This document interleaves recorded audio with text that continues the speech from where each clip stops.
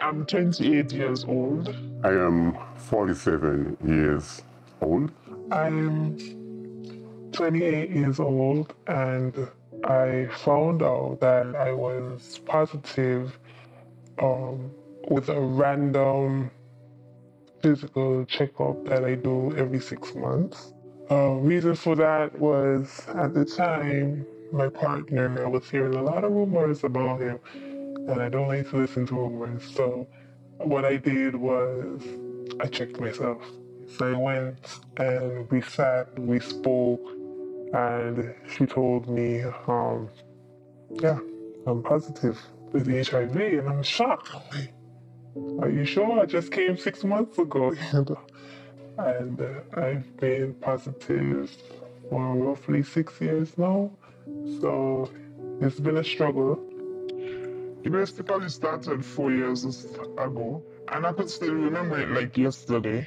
I was friendly with someone for some years on and off, and uh, I can remember when the person started to get sick. You know, vomiting, diarrhea, no appetite, and stuff like that. But HIV or AIDS was the last thing that was on my mind, and I honestly thought it was cancer or something. They had a free testing in the square, and uh, I decided to get tested. And after the 10 minutes, um, she told me that I am HIV positive. HIV is a virus. Human immunodeficiency virus is the full name.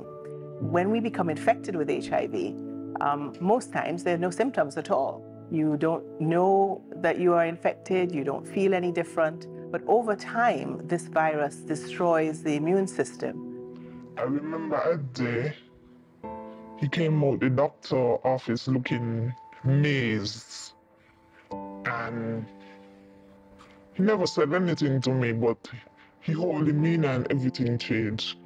Even at that time, I still wasn't thinking about HIV or AIDS and uh, started losing weight drastically. And uh, he was admitted to the hospital some months after.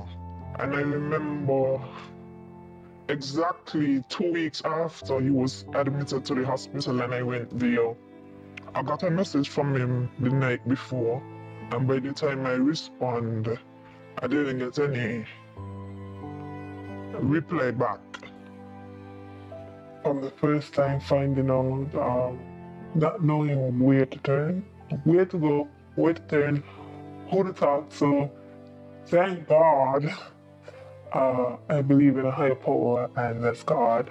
And I prayed, cried, and prayed um, as I you came into the world pure, and now you're fighting for time, basically.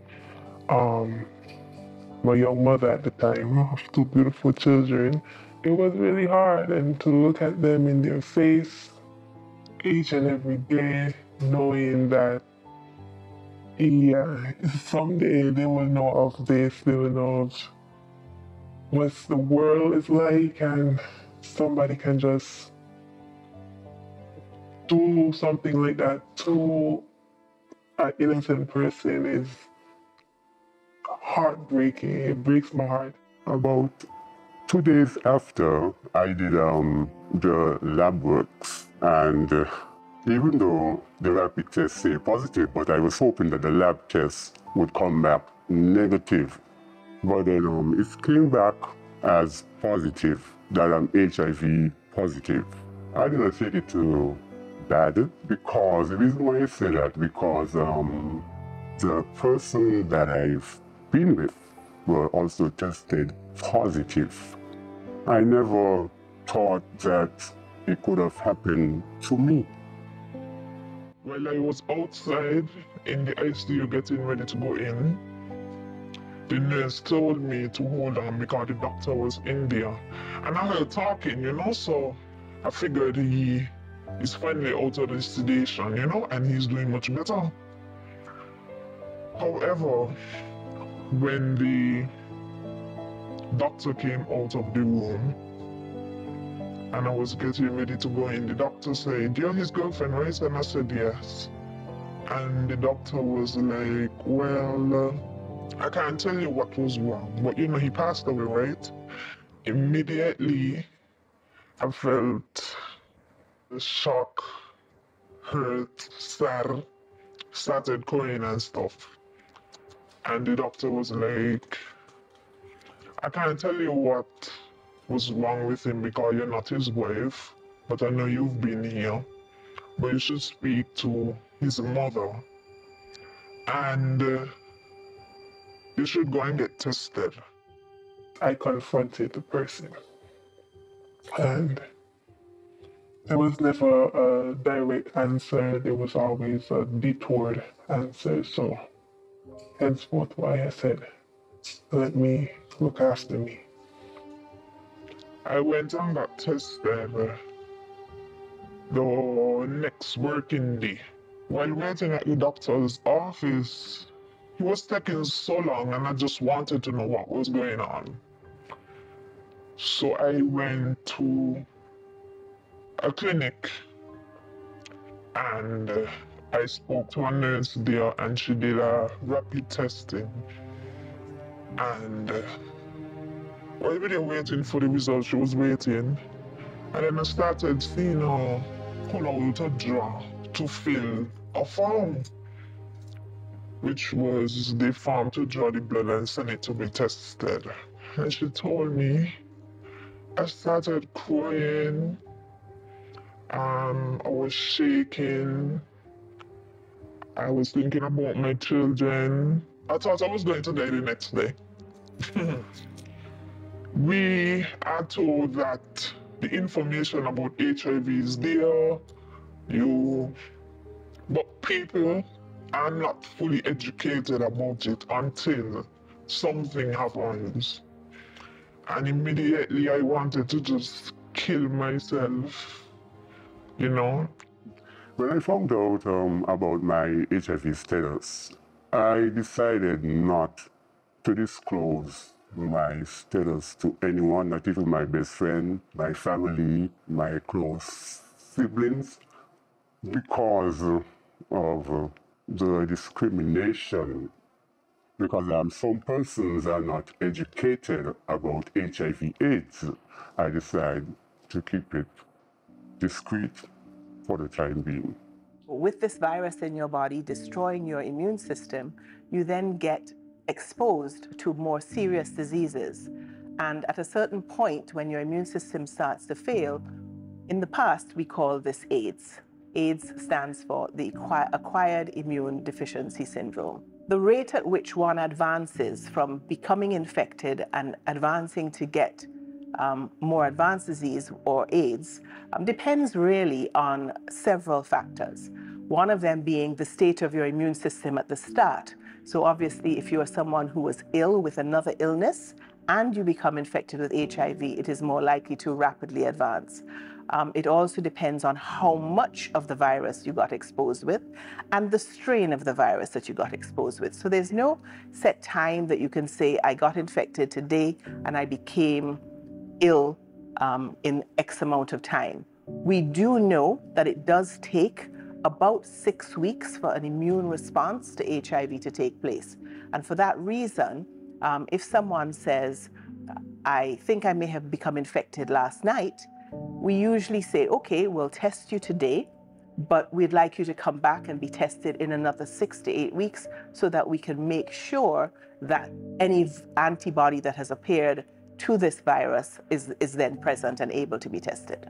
Well, that being said, um, meet my partner up today, and we've been together since I've known, so since I've known, they have known, and we have been living together, and it's been rough. It's been easy, it's been rough. Um, however, but that's my support system and has been my support system ever since. I did not tell anyone until maybe two to three years after. my close relatives, as well as um, some close friends I'd known at the time, but mostly family members was really hard to tell and hard to break the news. So, you know, there's always this feeling of like you're going to die. I remember I tried killing myself one time, and before I thought of that, I said I'll have to kill my children too because nobody could raise them better than I can. And to leave them here to suffer or for somebody else to pick up the burden, it would be unfair. When I was about to do it, something snapped. I don't know what exactly, and it was that moment that I decided to just live. So, the virus HIV um, invades the human body through many mechanisms.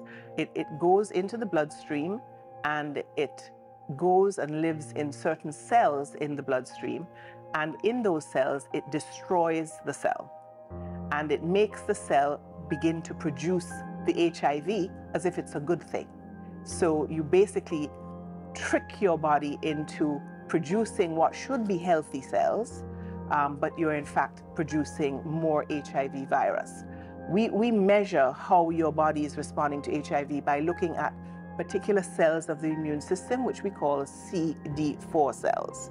Um, and these are things that we can measure, and it is one of the ways in which we monitor people with HIV to see how their immune system is responding to treatment or to the advancing virus.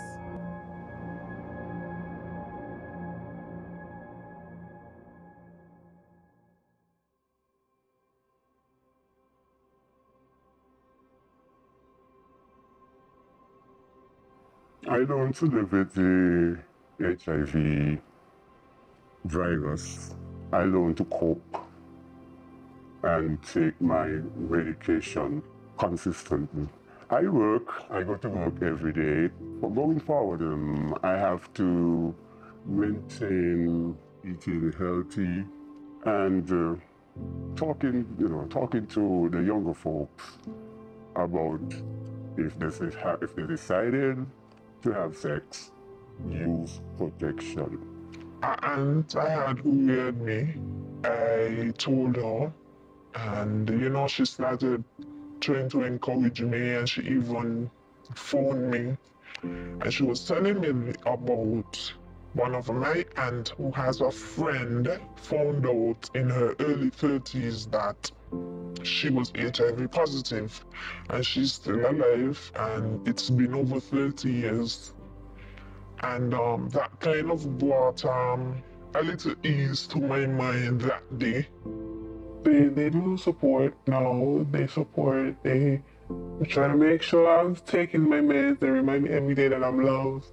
Uh, how much my children needs me and I'm grateful for that. I'm also grateful for the friends that I have the real ones, the true ones, they have really been there. They've been pushing me through, trying to get me back into that momentum, but mentally it, it left a traumatized scar. However, um,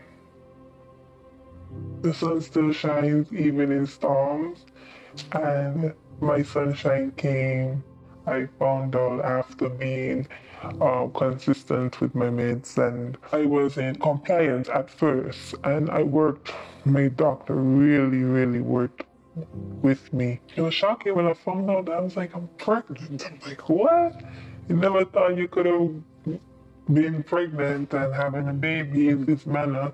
And don't get me wrong, it's a joyous moment, but for first time persons like myself who have to go through that process, it was a bit scary but um, the medication that they have now, it really helps and it does not transmit or transfer to the kids. And I'm very long, I'm very, very happy because then my child gets to live a normal, carefree life. Unfortunately, there is no cure for HIV. Um, it is now considered to be a chronic disease.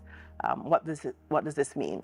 This means that like many chronic diseases, others like diabetes, hypertension, arthritis, we don't have a cure, but we are able now to manage it so that persons infected with HIV live normal, long, healthy lives and die of other causes.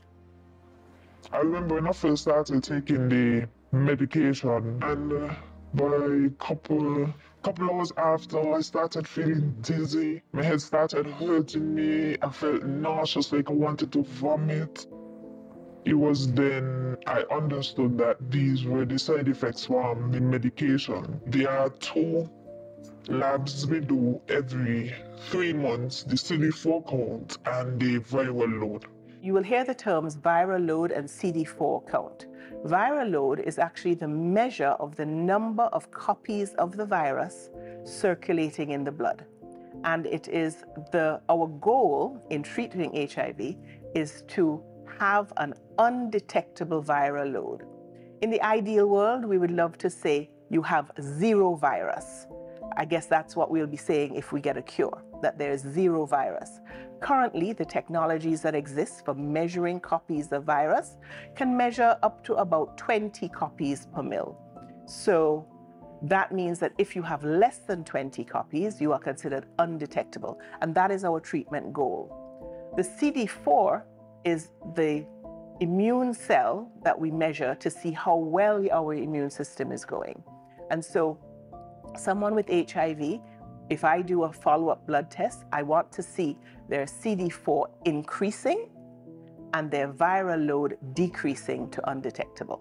My viral load has been undetected for some years now, which means that you cannot transmit the disease to someone else. I decided um, that I want to tell my story because uh, I want people out there to know that HIV, you cannot contract HIV by touching, hugging, or even kissing and sharing utensils, sharing the bathroom. I also decided um, to tell my story because um, some persons uh, they are still not educated about the HIV virus, so you would always find that there will be discrimination um, towards other persons who are HIV positive. So I am here to let them know that there's no need to for discrimination. Yeah, it's been really, really challenging, but I will encourage each and every person. You can be young because young people can get it. Um, be old, you can be just on the urge of exploring life and leaving school. Trust yourself more and your instincts. Make that choice to get a checkup like I did and find out, as well as gain more knowledge about it. Learn via media. There's a lot of information on the media, social media, or as well as websites, as well as groups that we have here in St. Kitts. I really wish that we as a society can be more acceptant about it. We treat it like it's something from also another world and it's not that actually, it's just a medical condition that anyone has who's living like with diabetes or hypertension. Even if persons who are cancer related, they can also understand it's still something that you struggle with. But if you do maintain your medication, making that healthy lifestyle choice, eating right, exercising daily, and spending time with those that you love, your loved ones, your friends, and even those that elevate you inside, it really helps on the outside. Educating the public is um, important to me because um, I know there are persons like myself who wants to come out and not hide behind a shadow. So it is important to me. A lot of people feel like HIV is such a is the worst thing. But I think it takes a lot of mental strength and you have to be willing in yourself to push through and decide that you want to live. I can understand why people start taking the medication and stop because who wants to take a medication every day until you die?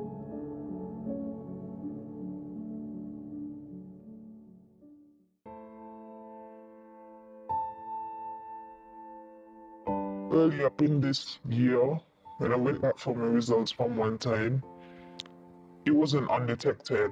And she told me to come back and do another test because sometimes these things happen. Sometimes they up and down. It's like it's like when you have mosquitoes in a house and you flit. Once you open back the door, as much start to fly in as possible. It's like that with HIV. From the minute you start to drop back on your medication or the minute you miss a day or two, it's like the door open a bit and they use that opportunity to rush in and start breathing in your system and that is what happened. Even though HIV sometimes is hard to live with, for me, it is not the hardest battle that I fight on a daily basis, but because I discipline with my medication, I am not as worried and I don't feel ashamed of it. I would like the stigma here to change, even if it's by a small percentage. From day one, HIV has been shrouded in mystery and, and rumor and anxiety, really because I think of how it first presented on the world scene. And so a lot of those things, although those of us who know better and have learned over the years have realized are nonsense, a lot of those things have stayed along and it has led to a lot of anxiety for people living with HIV.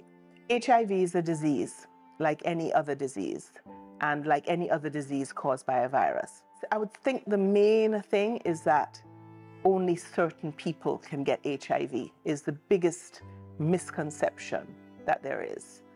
HIV is a virus. Once the virus gets into your body, you become infected with HIV. How does this virus get into the body? Well, the most common way in which HIV gets into the human body is through sexual intercourse.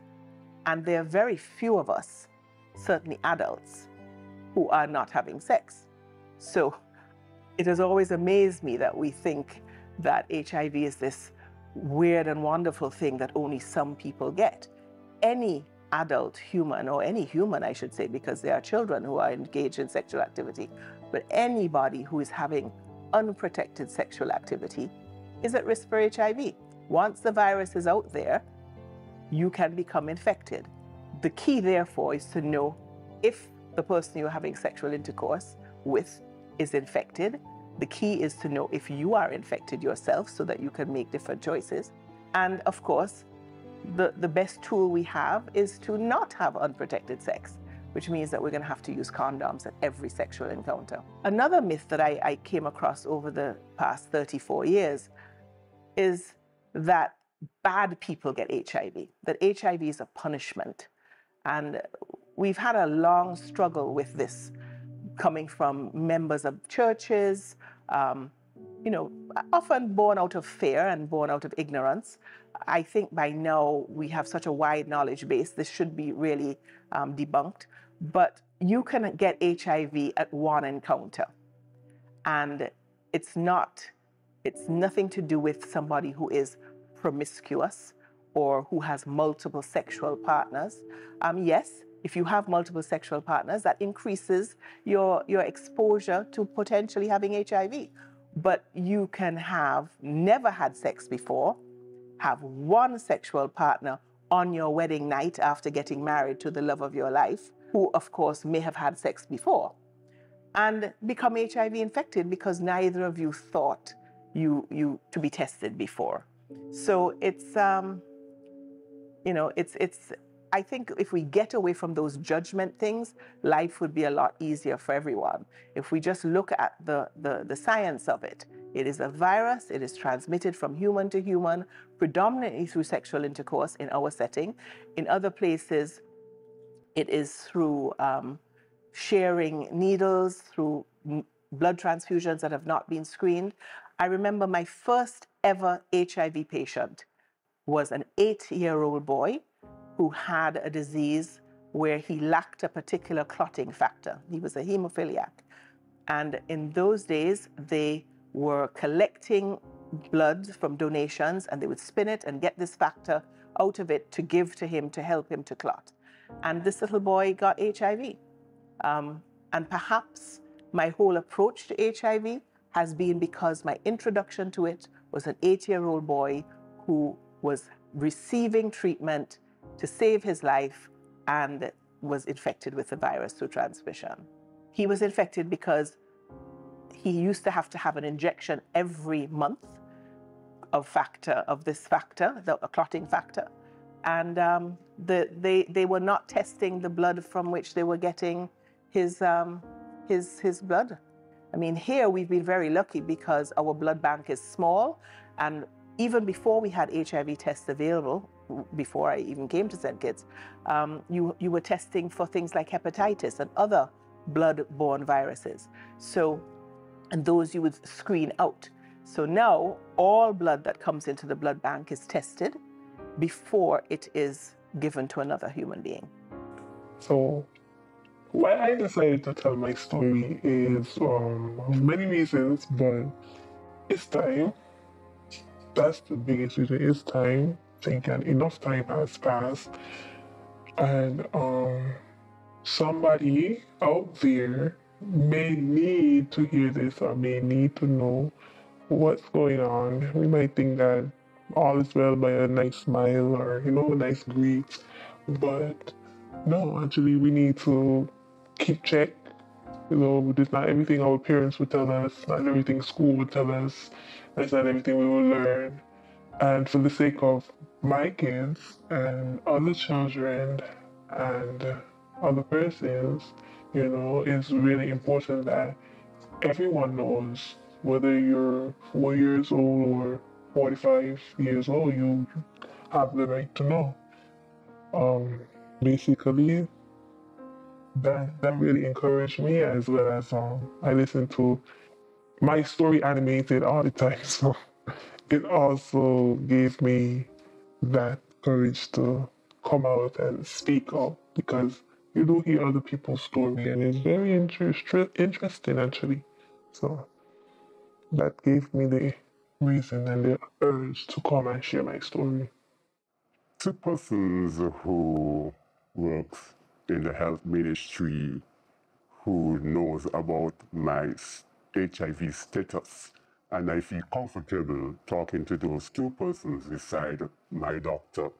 So when I'm feeling down or depressed, I can call any one of them and let them know how I feel.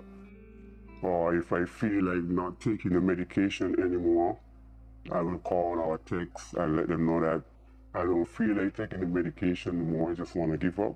And then they will tell me, they will try and comfort me and, you know, let me know that if I get off the medication, I would advance to AIDS and then I would die. If somebody is has just been recently tested with HIV and then they see somebody else that they know or they're talking to somebody else who they know have HIV, I think that is motivation alone for them to fight. I just like to encourage people, you know, um, and every time I share my story with somebody that don't make me feel less than, even some certain person who I wouldn't have expected to take it as they did, they always been positive towards me, you know, and with regards to my family, a few family members know, and uh, that's about it a lot of people I communicate with know because like I said, I tell people all the time I'm not afraid or ashamed to talk about it. And if me admitting that I have HIV and talking about it makes you feel uncomfortable, then that is on you. That is a you problem, not a me problem. And what I would like to say is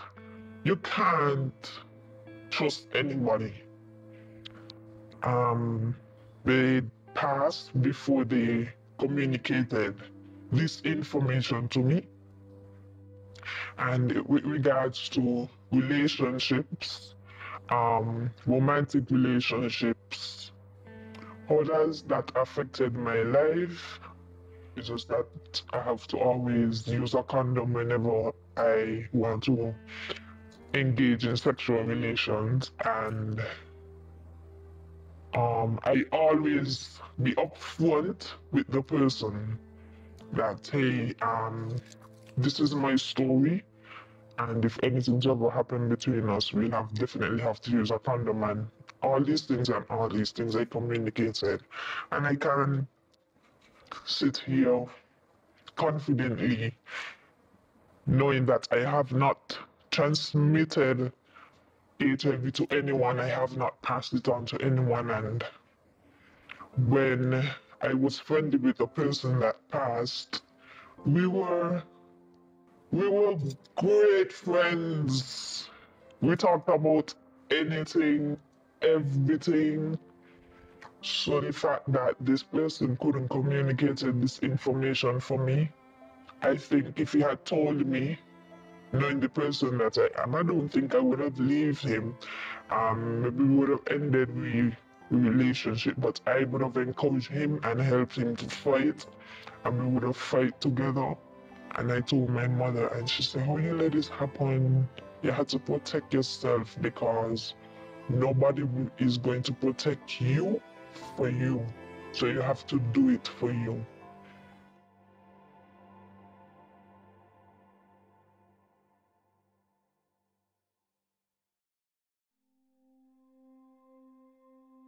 So HIV testing is available in all labs in St. Kitts and Nevis. The private labs, they ha- their prices range from about 95 to 115 dollars to do an HIV test.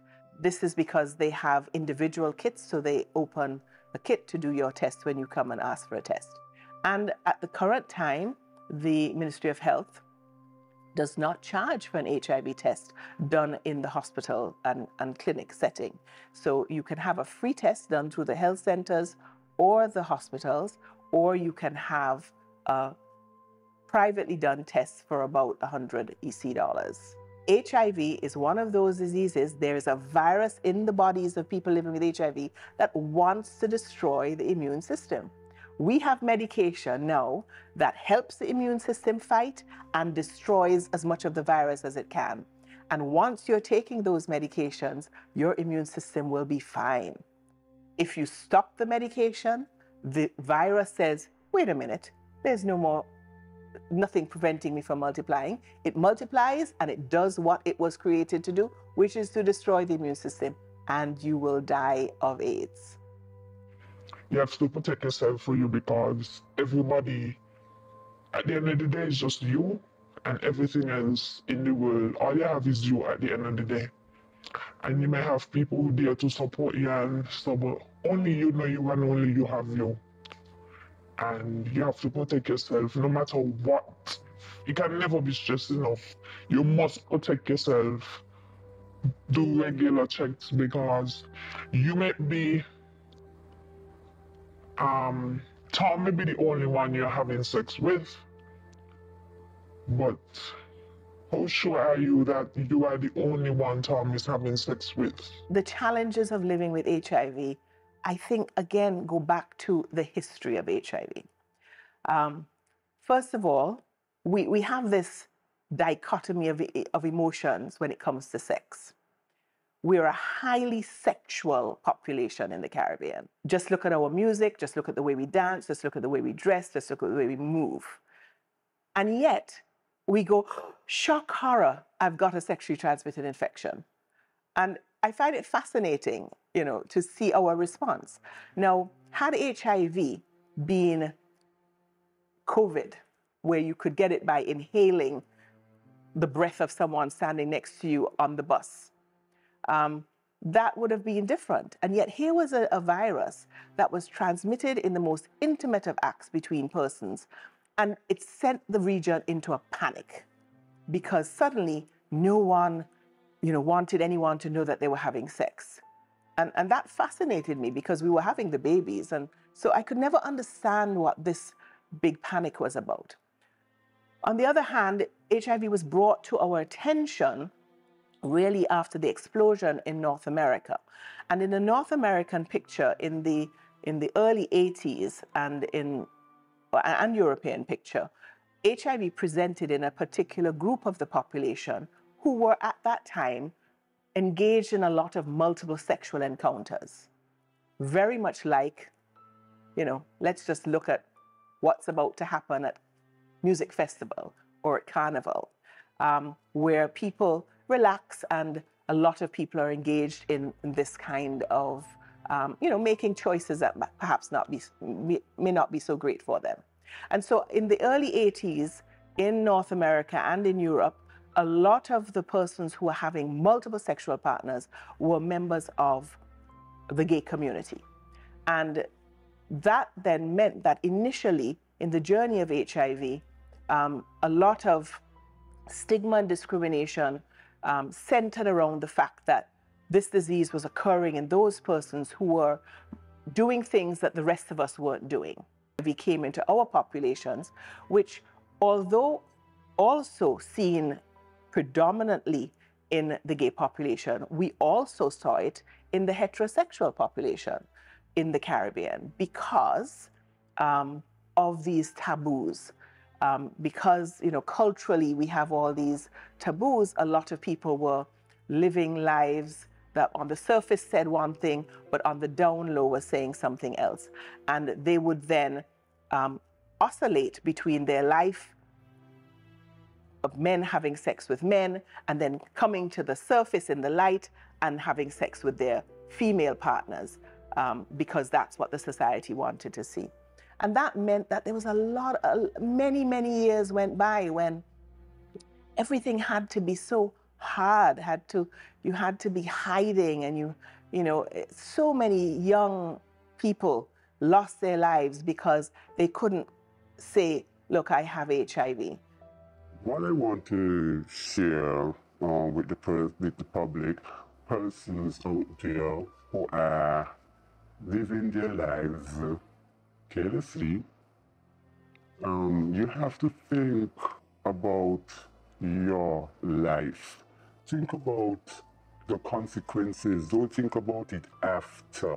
Because um, HIV is a virus that you will have to live with for the rest of your life. So I encourage you out there to be careful if you're going to have sexual intercourse with anyone. Always use protection. Even if the other person doesn't want to, still insist that you all have to use protection. If you're just finding out, or if you have known for a long time, only you have known for a long time, and you're ready to move on, to say, I would say, but not everyone believes in God, but I believe, I strongly believe in Him. I see Him every day and I see all his work. Just don't give up. Don't give in. Don't give in to that voice that says you're not worth it or you're not worthy or why should you even? You know, you may know what your why should you even be, but why should you? Like you should actually. Like you should not just stay there and more than in this depressed state or emotion because it's not what is intended for us from the beginning. You know, we are to be free. And freedom is liberty, liberty is knowledge, and knowledge is power.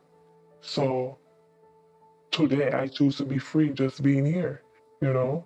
And every day is a struggle for freedom. It's like slavery days all over again, to be honest. But you have to choose to be free. You have to want that freedom, that earn for it. Because I have been low, and low is literally a cliff that has pulse cold water rushing with strong waves in it and sharp edged stones and rocks at the bottom. I've been there. So climbing back out, it says something. It says, yes, I've overcame that and I'm also overcoming everything else that is coming my way.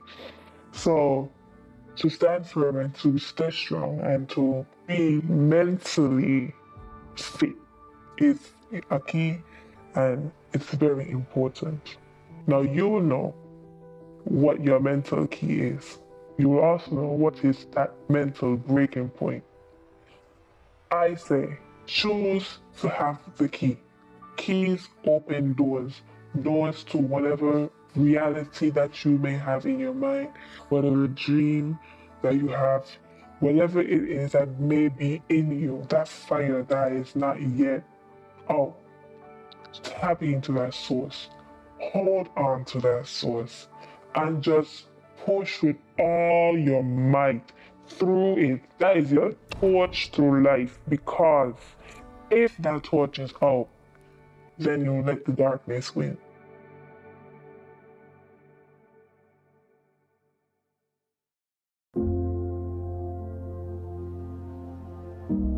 We still have persons who live in ignorance and live in darkness, and they are not willing to understand that um, it is not the same picture. That you, you can live a normal, healthy life. And yes, so someone made a choice that put them at risk, but how many of us do that all the time? Um, you know, we take risks all the time, sometimes knowingly and sometimes unknowingly. Yes, something you have done in your life may have contributed to it, but why, why does that require judgment? Um, why does that require that you treat me differently? I am not a risk to you. Someone living with HIV is a risk to you if you allow them to have unprotected sex with you. And note how I've said that. It's still your choice to determine if someone if you allow someone to have unprotected sex with you. It's your choice. You have to accept, each of us has to accept responsibility for the choices we make, um, with very few exceptions. And, and those exceptions are in cases of sexual assault, obviously. If someone is raped, well, their, their choice is being removed, and that's a completely different scenario. But for the rest of us, we choose every day who we spend time with. We choose what questions we ask them, what not to ask them. We choose whether to allow them to be intimate with us with or without condoms. And therefore, we choose. Um, one of the questions I ask a lot of young people now is um, Do you love this woman enough to die for her? Do you love this man enough to die for him? And if you say yes, I can't argue with that. If you say no, then I recommend condom use. I have a friend who lives that way that they're young and you know they want to be free and all these things and every chance I get I tell my story. I say remember the day when we found out that I was HIV positive, you remember how traumatizing it is? And what I survived may kill you. Nothing is wrong with being young and having fun, but there is a right way to have fun. There's a responsible way to have fun.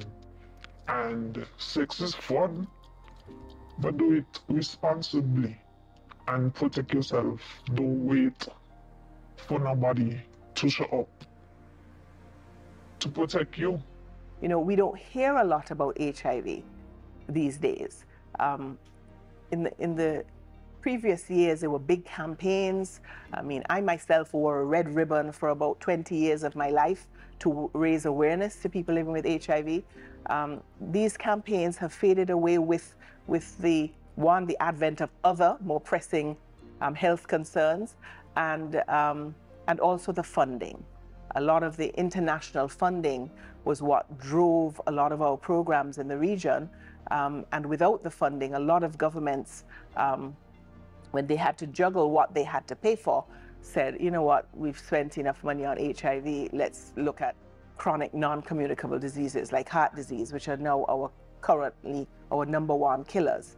Um, so it worries me a little bit that we have gone from you know, intense awareness campaigns to zero. I would have loved some level of HIV awareness continuing um, in the schools because new generations are having sex. And new generations, when I meet a young person who says, Yeah, I've heard about HIV, but you know, it has nothing to do with me, it blows my mind. I feel, gosh, you know, your whole lifetime of of trying to engage people in, in taking responsibility has just gone into nothingness. So it concerns me a little bit that we're not as aware, it seems to me, as aware of it. It could be that I'm wrong and that we're all so aware of it and we just look, do it looking after ourselves. Why I know that's not the case is that we are still getting new cases of HIV. I think I am a firm believer in teaching young people from an early age how to be responsible for their actions. And we have to explain that every action, every decision you take has a consequence. It has a good consequence or a bad consequence. And as you grow, you learn to balance these options and you make choices. And those choices may have an outcome that is unpleasant. I, I don't think this means that you therefore treat persons differently, um, but you have to accept they, have a condition that they may or may not have contributed to, and we have to do everything in our power to empower them to make better choices going forward.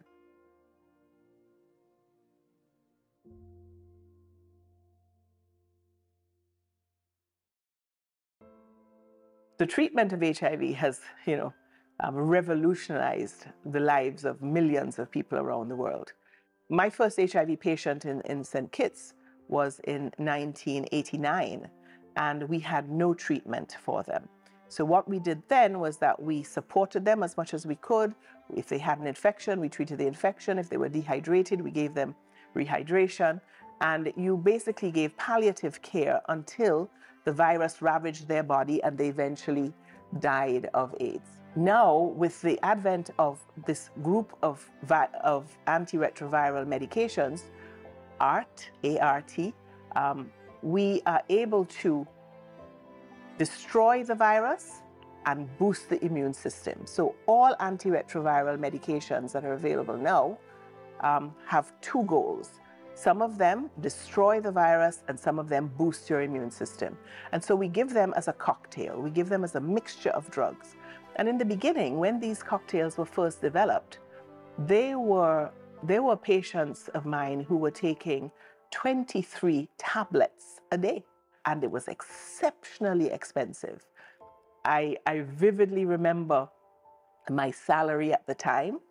And had I been infected with HIV at the time and had to buy my medication, I would have had $218 a month to live on because my whole salary would have gone in purchasing these drugs. Right now, HIV care in St. Kitts, the antiretroviral medications are not costed to the patient.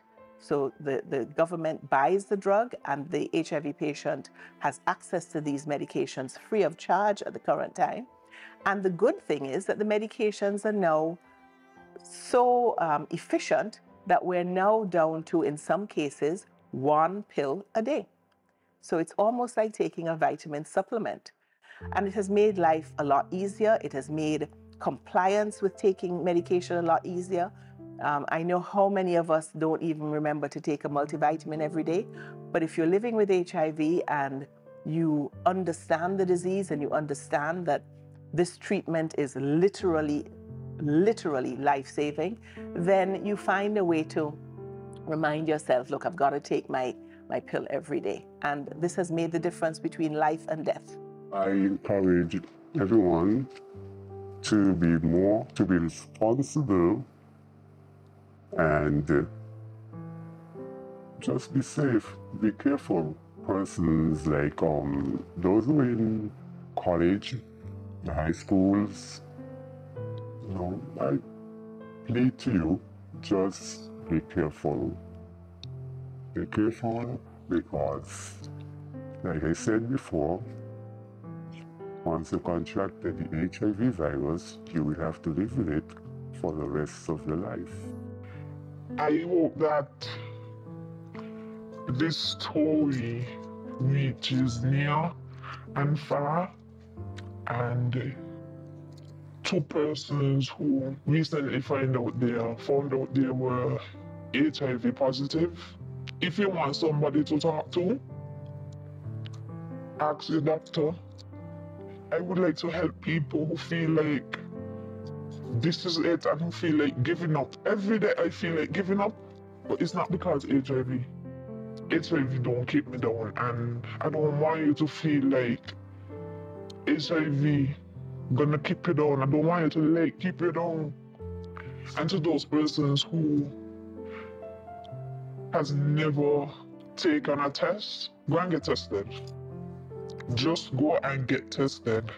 Because a lot of people watch people with HIV in a negative light and they don't even know about themselves.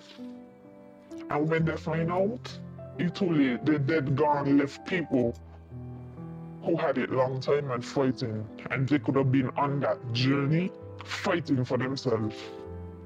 Just continue to fight. There's much more in life than being diagnosed with HIV. Take it from me. It has never stopped me from getting any job. You just have to decide to live, decide to take care of yourself, decide to protect yourself. And if the result at the end of the day you are positive, continue to fight. And I hope someday you get to reach to me and I can encourage you and we can fight together. I would just like to thank the Almighty God for strength every day and spared life to be here every day. And uh, everyone who has supported me on this journey, you know, I appreciate them to the fullest. And I always hope that they take my words, I take my story and uh, don't repeat it.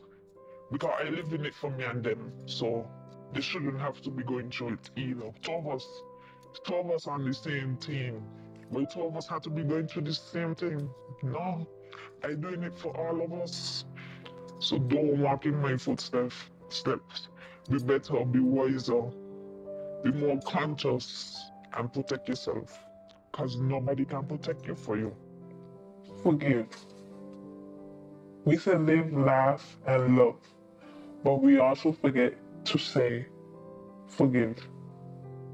Forgiveness is not for Paul and Saul, everyone else. It's for us. It's for you. It's for me. It's mine. It's personal. It's personal. Just forgive. Forgive yourself. Whatever, whatever it is, whatever mistake, known, unknowingly, you forgive. I think, and I say that we all should be in this fight together. We all should stand together. We all should have that power where we can just have normal lives because we have normal lives like everyone else. We have normal lives. It's just that in our normal lives, we have to take a pill. and that pill is called survival.